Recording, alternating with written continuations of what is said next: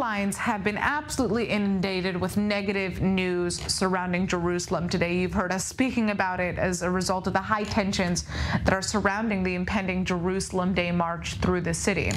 And while today there may be fears of a violent reprisal from Hamas in response to Israel's celebration of Jerusalem Day, Many are also taking this annual celebration as a time to look back and reflect on the growth of the holy city, which is so often mired in controversy.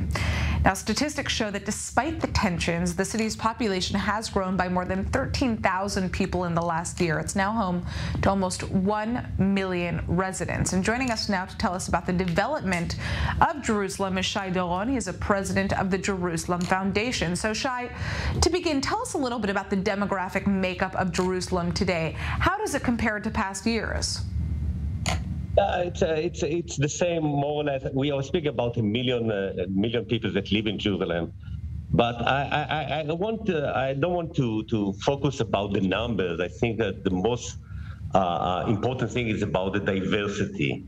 The fact that we are speaking about one third of uh, the million are secular Jews, one third are Orthodox Jews, and one third are Muslims or Palestinians. Call it what, uh, what how, how you want to call it.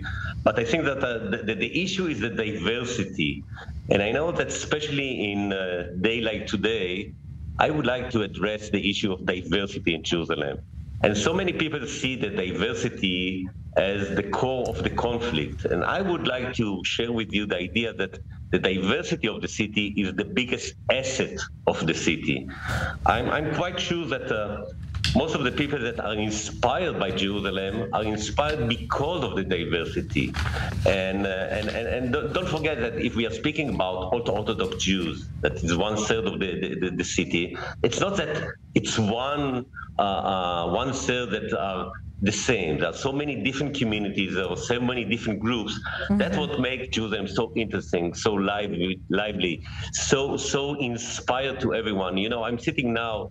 Unfortunately, I'm not in Jerusalem today. I'm sitting now in Cannes, in France, with uh, supporters of the city of Jerusalem, supporters of the Jerusalem Foundation. They are from Sweden, and they are non-Jews. They really care about the city and what inspires them to do something meaningful in the city of Jerusalem, it's it's diversity. So it's not about the numbers, it's not about the proportion mm-hmm. between the Jews and the Arabs, the seculars and the Orthodox. It's the diversity. I, would like to kind of talk about how Jerusalem's identity has changed in the past couple of years. You know, on one hand, it has become more and more of a tourist destination, but it doesn't necessarily receive the best media coverage because of the ongoing security conflict. And while diversity is obviously a very positive thing, that's not what we're seeing highlighted. Yeah, of course, uh, we, we, we, we, we are facing uh, some changes. I still remember, I'm a Jerusalemite, fourth generation Jerusalemite. Mm-hmm. I still remember the, the, the, city at the 60s.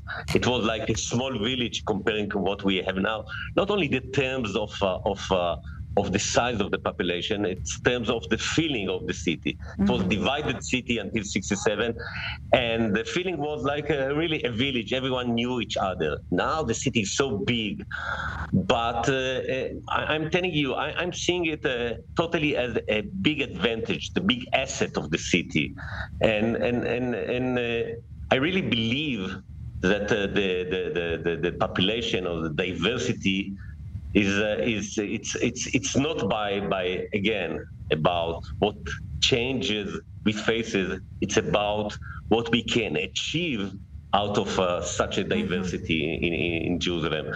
To go to, to, you know, to celebrate the history that uh, it used to be so nice in Jerusalem. It was like a small village that everyone knew each, each other. It's nice. It's nice for the history. It's nice for the memories. But it's not a, uh, working plan for, for the future of the right. city. So what is the working plan? I mean, what can we expect in the coming year for Jerusalem? What initiatives are being pushed forward to kind of drive more growth? Yeah, um, uh, I, I, must say that uh, the city, the, the, the, mayor and the city has uh, really um, so uh, such a big uh, different ideas about how to promote the economy of, uh, of, of, the city, transportation in the city, and the, the Jerusalem going to be the first city, really the first city that are going to have uh, the full infrastructure for different public transportation included the light rail, and it's already the first line is the is operating in Jerusalem for for more than a decade. But uh, Jerusalem is going to be a pioneer in a public transportation system and housing and a newer newer facilities for high tech. But I would like to address the issue of again what we are doing in uh, the Jerusalem Foundation mm-hmm. with our supporters from all over the world. And this is about really right. taking care of communal strengths, creative culture, and future leadership. Those are the fields that are going to really make the big difference in the future right. of the city of Jerusalem.